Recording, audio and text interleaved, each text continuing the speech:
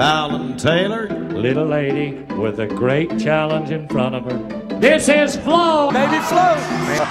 she wins the world championship. And the winner's circle for that cowgirl. Fallon Taylor will win. She's riding an amazing horse out of Baby Flo. It's One of the babies for Baby Flo. Low to the Flo. Lola. Hush, buddy. Hush, buddy. What's up, Flomies? Welcome back to my channel. You guys, we got a new trailer, and I know that you probably already saw why we switched. If you didn't, make sure to go watch part one of the new rodeo rig to check out the brand wagon. But here, we are paring things way down because we went way big on how we're getting down the road. The chassis is not massive, but it's a big difference from just a regular truck. And so we went with a three horse bumper pull. The front slant is going to be for feed and things and stuff. And the back two slants are going to be for our rodeo horses. That means if we need another rodeo horse or we're getting a jam, we're going to have to call home and get somebody to come meet us. So we're traveling a lot lighter. We're going to take you guys inside. Now, the main thing that has to happen is we have to get everything out of the four horse platinum and put it in here. And I'm proud to say that we didn't have a lot of unused stuff, but that means that when we put everything in here in a lot less space, no mangers, no side doors, no hay pod, it's going to be tight. So you guys come with us as we get this trailer loaded. The must-haves going to go in this trailer pile. And then a, we're storing you because we're going to clean this trailer out.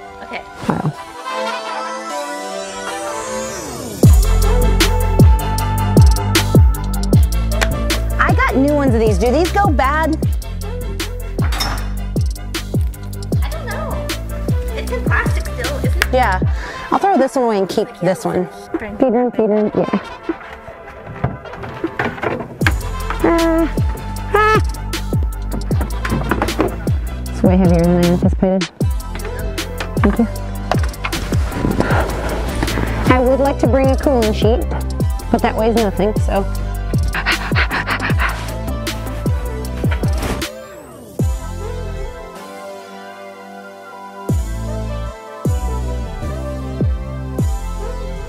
A lot of things I like about this trailer, and that's that it's really light.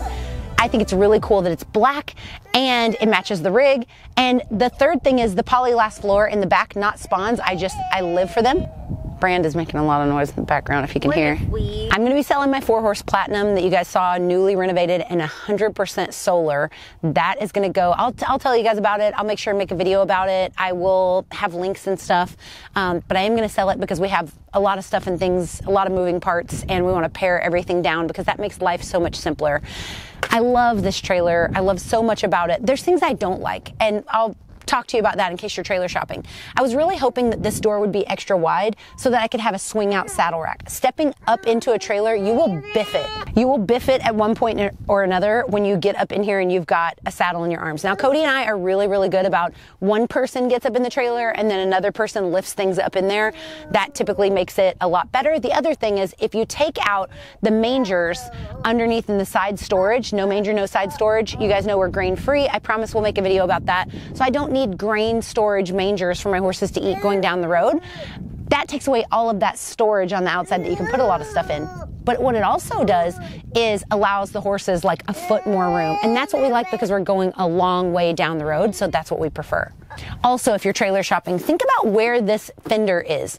Are, is the fender making its way inside the trailer or is everything on the outside? You'll know what I mean because the inside of some trailers ha- have a wheel well and other trailers are a little bit wider. But this wheel well can either be inside or outside of the trailer and some horses really don't like them. Some horses like to rest on them. And our horses, I just wanted less stuff for them to like nick their legs on. Mojo is a goofball in the trailer, so this works out really, really well. Now, again, I said no hay pod. I don't like hay pods anyway. If you um, are shopping for a trailer like my other Platinum, you want the hay pod because then you can load four horses in, have everything up there. Um, but I do not go up and down hay pods well um, since breaking my neck, so not a huge fan. Things I love about this trailer, this plexiglass, which can slide out during the summer months or stay in in the winter months. So that's really good. Things I dislike, carpet in the tack room. So carpet in the tack room means that we're going to have to vacuum, although we do have a small hack and that is um, that the robot vacuum, like a Roomba, if you leave it in there for just like five minutes, shut the door. It does a really great job on this carpet. You guys know you can't just sweep it or like hand vacuum it because it like embeds itself into these trailer carpet. But I like a lot about it. It does tighten our room down quite a bit. So we do have an Amazon hack for the buckets. And again, like I said, we don't feed grain, so we don't need a bucket. But what I'm going to do is um, probably keep a bucket in here just to have, but then we're going to go to some foldable buckets, not the buckets you saw in the last vlog.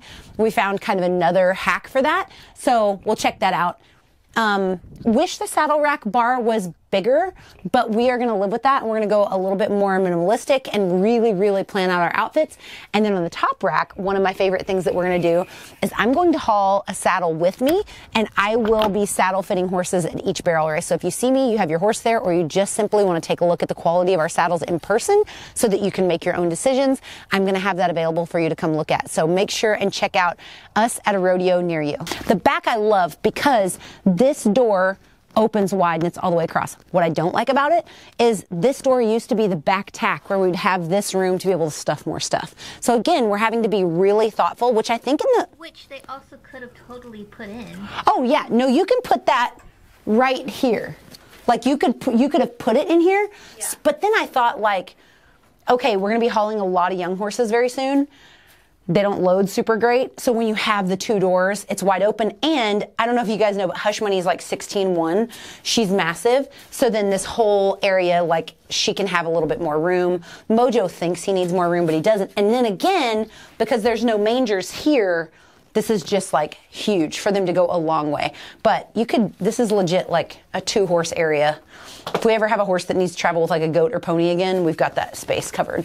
The other thing, love, love, love these petitions. I love that there's no bars that they can't see each other at all. That's a lot of um, what makes Mojo really mad in the trailer is being able to see somebody. So the fact that you can't see anybody next to you is really, really great for him.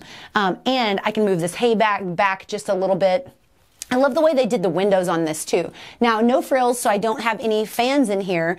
And the reason is you guys know that I love my Ryobi green fans that I put up on the outside because I actually get more use out of them and the horses don't play with any wiring that runs up here. I've always had that kind of be an issue. So Anyway, it's bare bones and I really, really like it that way. I think that we've figured out exactly where we want the frills and that is in the chassis, in that RV while when we drive, we can work.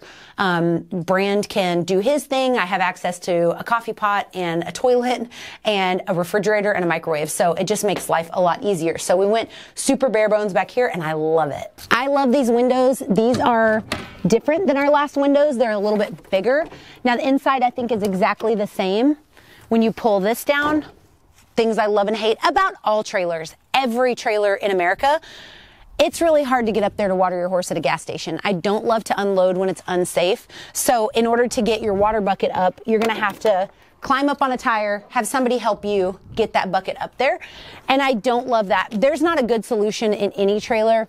The only difference, um, the only positive to having mangers is that Am I a trailer review specialist, by the way? Because I feel like I pulled every single kind of trailer. And so I could be like, I could, I could look at your prospect and your trailer and I can tell you what's going to go wrong.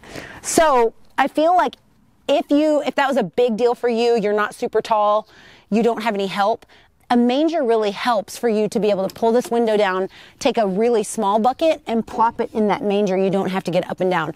But this way, you're going to have to finagle up here, which I typically go up here on a tire, have somebody hand me a bucket and water that way. It's a pain in the butt. There's not a good way around it. But with our new collapsible buckets and this double door situation, I may go in through the back and then water them on the ground and then pop it underground. But we'll see, pop it under the petition. But we'll see um, how that goes as we start to get a little bit more familiar with this trailer and how it works. I love that it has enough tie rings on the sides for us to keep our horses spread apart or put one on either side. Most people that make trailers, they'll give you a six horse trailer and put two saddle racks in it. And you're just like, or four tie rings. And you're like, what were you thinking here? But I think this is really well made. I really like it. The axles are big. It pulls really great behind the RV. Overall, I love this trailer. I love the last trailer. It is, Cody said, and Cody has some taste, okay? Cody, like, she's discerning. So she said that the Platinum is her favorite trailer of any trailer that we've had, and I couldn't agree more.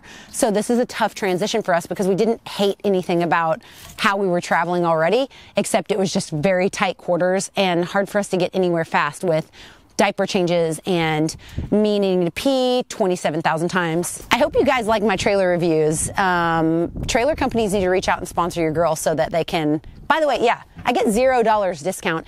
And I take zero dollars discount because I work hard for my money and I know other people do too.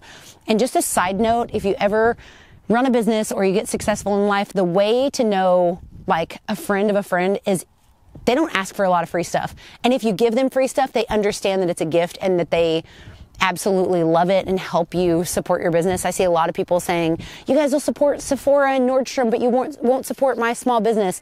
Um, I like to support businesses because I do well. And I'm definitely not above getting a discount, but I don't expect any kind of special treatment. So when you guys see these trailers, zero dollars of them are sponsored. That's all hard work and elbow grease, and I'm damn proud of that. So I hope you guys have an amazing rest of your day. I will be making that feeding vlog very, very soon. I know you guys are freaking out about it and you're so excited. Again, not spawns by the person I'm going to shout out quite a bit in here. So I've got to make sure I have her approval to say some stuff and things. And then I'm going to go forward with showing you guys each horse's supplementation and how we're feeding. And it's going to be super, super, super extra good because your girl is not sponsored by anybody. Again, it's like a Jeffree Star cosmetic makeup review. Like, I ain't getting paid by nobody to say nothing. So it's just, you know, it's 110. All right, you guys, if you are not already subscribed, make sure to subscribe, ding that notification bell. And as always, don't forget to count your blessings, drink your protein, and say thank you to Jesus. See you next time.